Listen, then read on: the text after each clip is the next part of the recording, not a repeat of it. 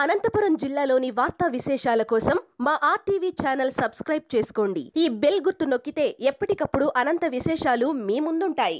YCP అధికారంలోకి వచ్చిన తర్వాత అంగన్వాడీలపై కక్ష సాధింపు చర్యలు ఎక్కువయ్యాయని anganwadi workers and helpers association రాష్ట్ర ప్రధాన కార్యదర్శి సుబ్బరావమ్మ ఆరోపించారు.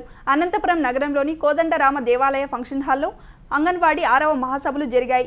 ఈ కార్యక్రమానికి విచ్చేసిన సుబ్బరావమ్మ మాట్లాడుతూ ఇటీవల గుంటూరు జిల్లాలో అంగన్వాడీ కార్యకర్తను వైసీపీ నాయకులు వేధించడంతో ఆత్మహత్య యత్నం చేసిన విషయాన్ని గుర్తు చేశారు. అంగన్వాడీలపై కక్ష సాధింపు చర్యలకు పాల్పడితే సహించబోమన్నారు. అంగన్వాడీలకు పనిభారం తగ్గించాలన్నారు.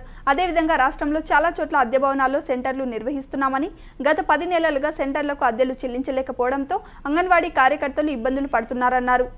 ఐసీడీఎస్లో బడ్జెట్ పెంచాలని ఆమె డిమాండ్ చేశారు.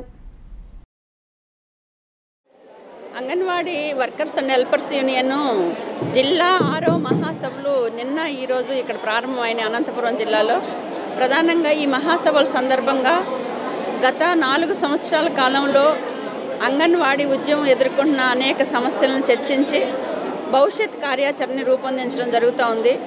గత నాలుగు సంవత్సరాల కాలంలో అంగన్వాడీలు ప్రభుత్వం చాలా వైపు నుంచి అంగన్వాడీని నిర్ అనేక రకాలుగా నిర్బంధానికి గురి చేసింది వేధింపులకు గురి చేసింది పనిభారం పెంచింది.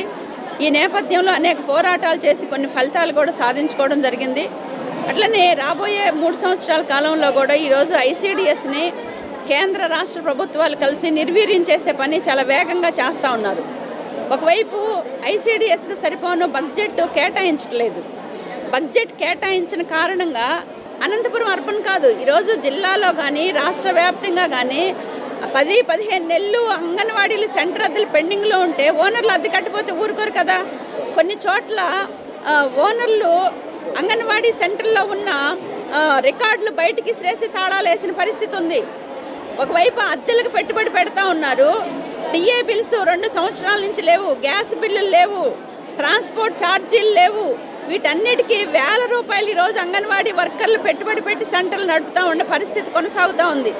ఎంత కష్టపడి అంగన్వాడీ సెంటర్లు నడుపుతూ ఉంటే రెండో వైపు ఈ ప్రభుత్వం వచ్చిన తర్వాత కూడా ఈరోజు రాజకీయ వేధింపులు పెరుగుతూ ఉన్నాయి. మన గుంటూరు జిల్లాలో అజంతాబాయిని వేధిస్తే అమ్మాయి చివరికి ఆత్మహత్య ప్రయత్నం చేసుకోవాల్సిన పరిస్థితికి నెట్టబడింది. మీరు ప్రభుత్వ ఉద్యోగులు అనే పేరుతోటి రేషన్ కార్డులు తొలగించాలని చెప్పేసి ప్రయత్నం చేస్తున్నారు. మహాసభల్లో తీర్మానం చేస్తున్నాం. ప్రభుత్వం పరిష్కారం చేయాలని చెప్పేసి కోరుకుంటున్నాం. ప్రభుత్వం పరిష్కారం కాని పక్షంలో రాబోయే మూడు సంవత్సరాల కాలంలో మా పోరాటాలు మరల మరలా ఉధృతం అవుతాయి అని కూడా ఈ సందర్భంగా తెలియజేస్తా ఉన్నాం. Subbaramamma AP anganwadi workers and helpers union రాష్ట్ర ప్రధాన కార్యదర్శి.